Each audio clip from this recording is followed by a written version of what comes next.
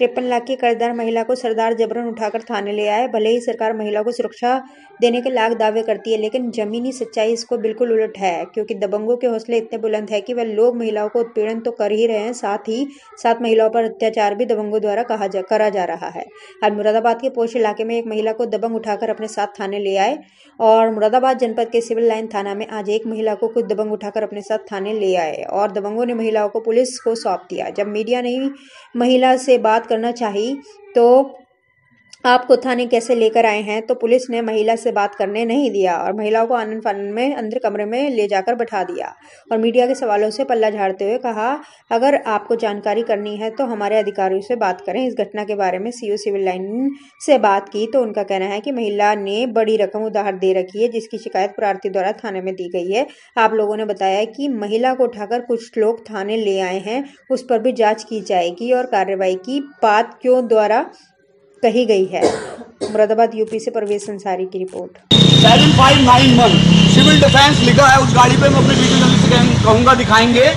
उस महिला को इस गाड़ी में लेके आया गया है यहाँ पर थाने में, और अब पुलिस के ऊपर ये ज़िम्मेदारी बनती है कि इन लोगों से भी पूछे कि इन्होंने कानून को हाथ में क्यों लिया। वीडियो जर्नलिस्ट पीयूष शर्मा के साथ परीश चमती न्यूज़ एटीन, मुरादाबाद।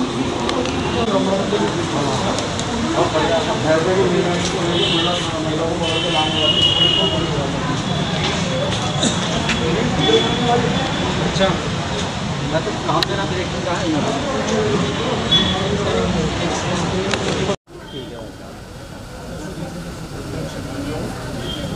अभी समझे में नहीं?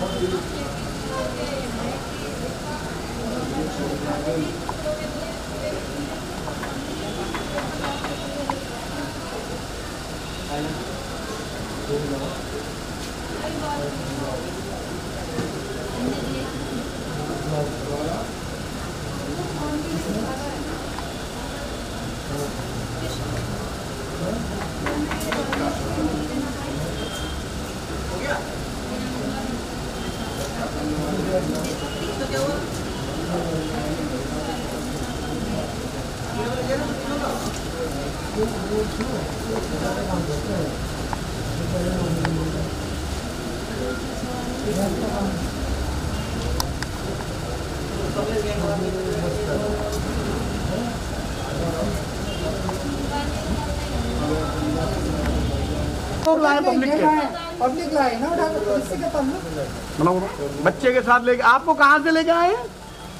बताइए आप आप बताइए ना।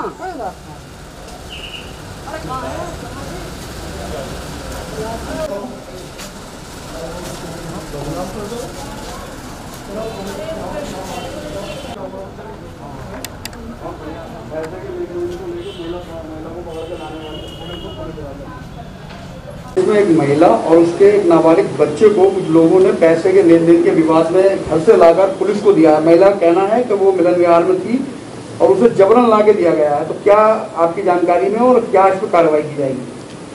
इस तरह का मामला संज्ञान में आया है कि थाना सिविल लाइन में एक व्यक्ति ने एक महिला के ऊपर तिरपन लाख रुपए लेने का आरोप लगाया है और इस संबंध में वह महिला के साथ थाने पे आया था। इस प्रार्थना पत्र को जो उसने दिया था, उसकी जाँच के लिए दे दिया गया है। उसकी जाँच की जा रही है और इसी के आधार पर आगे कार्रवाई होगी। इस तरह की अगर कोई इसमें सबूत मिलता है या कोई इस तरह की चीज़ होती है तो उसी के आधार पर कार्रवाई की जाएगी।